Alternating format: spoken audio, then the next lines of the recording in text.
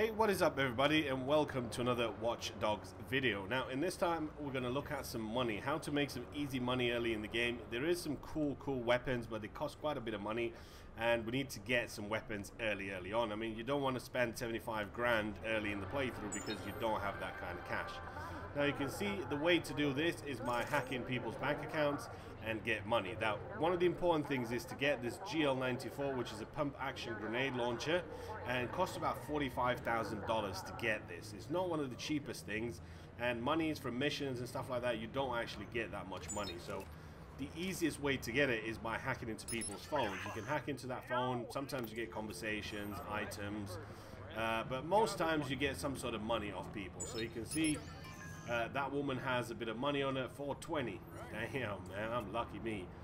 Uh, easiest way to get this done is to go into your skills tree and go into your hacking thing here, and you can see that's your uh, utilities, uh, Hackers Toolkit, then upgrade to ATM Hack Boost, and the next thing you want to upgrade to is this Profiler Optimization, which pretty much uh, puts a blue square on somebody that has uh, a lot of money into his bank accounts or keys or cars or whatever he's got on on him. So that's one of the easiest ways. You don't really need to get that, but it's going to make things a lot easier for you. I can see that woman uh, has some money on it. There you go, $4,000 just like that. Uh, go around, do this for about five minutes, and you've got yourself another 420. Damn, man, I'm lucky me. I'm just getting 420 dollars off of everybody. Um, even if you get conversation, press N, they'll get away. I mean, this is the PC version.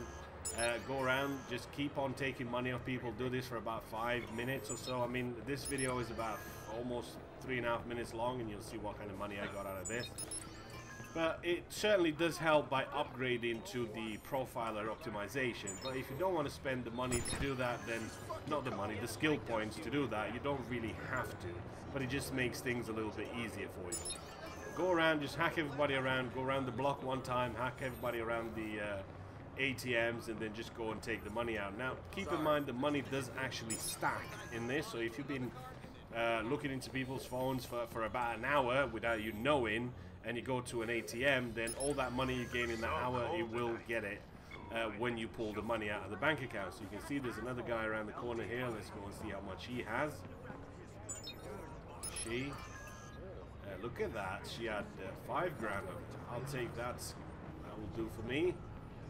Let's see anybody else got something. $620. It is pretty, pretty easy. You can do this on the run. You don't really have to wait for anything like that. The guy had another $840 on him. Uh, do this for about five minutes and you are pretty, pretty solid. There's, there's another guy or woman Jesus. here. What's With wrong a bit of money on her. Take that off you. Conversation and another $4,000. So let's go ahead and get the money out. And then I can go and buy an M107 sniper rifle if I want to. I want to buy my uh, look at that, 28,000 in no time whatsoever. So go and buy yourself some cool little weapons. Like I said, some of the weapons cost 40, 50, 75,000 dollars. Uh, sticky grenades, you can buy all sorts of goodies and therefore making your campaign a little bit easier. So I hope you guys have enjoyed it. Don't forget to uh, give it a thumbs up. Also subscribe if you enjoyed the video. And I will see you guys in the next one. Hey, look at that. Another almost $6,000. Out.